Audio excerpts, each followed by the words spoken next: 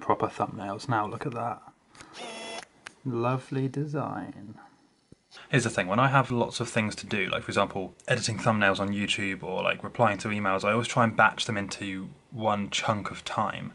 Simply because it gets you in the mindset. Say if you have loads of things that you need to do like every day, whether it's replying to emails or, you know, small tasks that take a lot of time to get started, but then once you've started to do them, they, they're instant, right? So I like to chunk them into batches. So say if I need to reply to emails, I won't reply to emails every day. I'll set I'll set aside a day of the week where I reply to all my emails uh, in one go.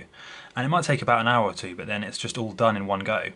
And I'm more productive this way. So what I'm doing today is I'm changing the thumbnails on my YouTube videos just to make them more enticing and make them more descriptive to show, you know, what the video is actually going to be about. So this is something that I could do every time I make a video or I could, you know, do a, few every day. But I'm just going to go ahead and do all of them at one in one go.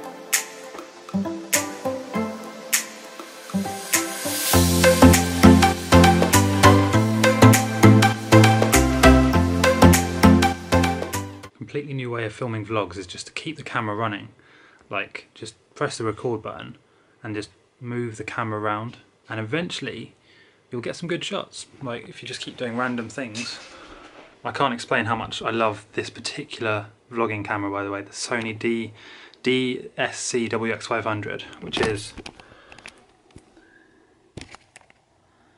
this one right here with the lamb tripod.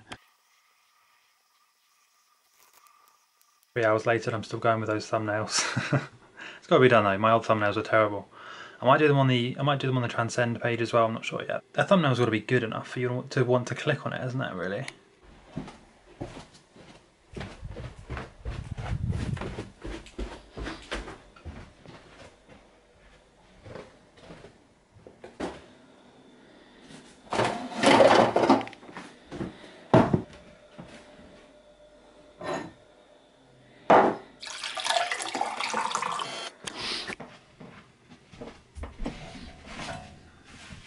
This could be a good angle for a video actually.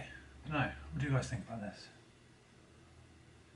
Because I can be more animated here. At some point, I'm going to be starting up, I'm going to be starting the Lucid Dreaming podcast again. Some sort of podcast microphone stand thing that I just never used. Now it just it just holds up these wires and ivy and things. Charging the drone.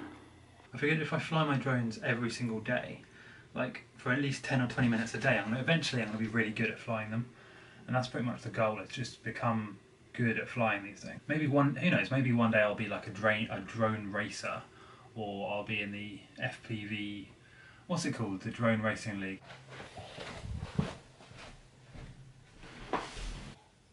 This is where I take the daily pictures, usually for my hair time lapse I'm going to be doing in a year's time. In a year's time, we'll be able to see the growth of the hair. I think I'll make a cool video. Anyway, this is where I film it because the light's really good here.